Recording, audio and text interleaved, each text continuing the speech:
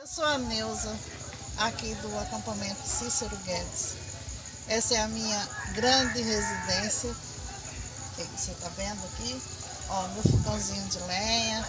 Estou fazendo um cuscuzinho, um mocotozinho para gente degustar daqui a pouco, né? Essa é a origem mesmo do nordestino, do, do sem terra, né? Que tem que comer o pé do boi. Primeiro a gente come o pé, depois a gente cria o boi quando dá, né?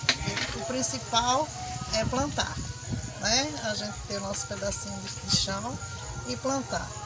Então, é, estamos aqui, né? Na luta pela conquista do nosso pedacinho de terra. Eu estou aqui nessa luta já há mais de 15 anos que eu estou na luta da terra para conquistar um pedacinho de terra.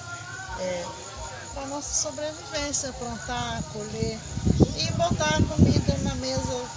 Nós produzimos alface, couve, muitas coisas já produzimos aqui para nossa própria alimentação. Temos a horta coletiva, né? Que é comunitária, que todos trabalham na horta e, e a gente colhe é, o quiabo, é, a abóbora, né?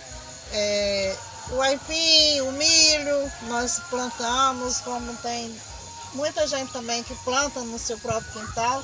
O vizinho ali está com a parte de, de fava. Eu tenho, tenho ó, o aipim ali, o pé de banana, inclusive tem um aqui atrás de mim. É cana para gente chupar também, dá para criança. Então a gente está aqui super animado e nós queremos a terra para plantar e colher e comer, né? É triste, é muito ruim, porque eu já passei por isso, eu não gostaria que os companheiros passassem. Nossas crianças, meu neto, tá aqui, ó, pra gente trabalhar nessa terra e o futuro. Aí, ó, da terra o futuro tá ali, ó. Tem mais dois netinhos, estou lutando por eles, né? A minha luta pela terra é isso. Por mim e por todos, né? Porque a luta não é só minha, a luta é de todos os companheiros que aqui estão.